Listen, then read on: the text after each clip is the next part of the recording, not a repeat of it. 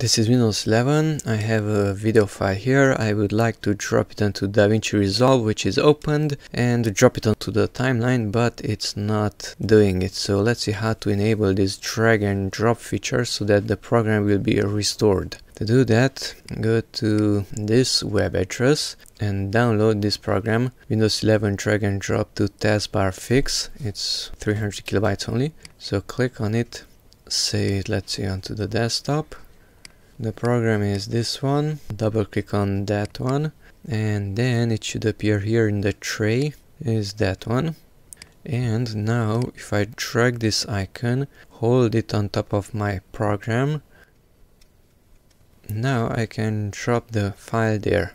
Let's try it once again.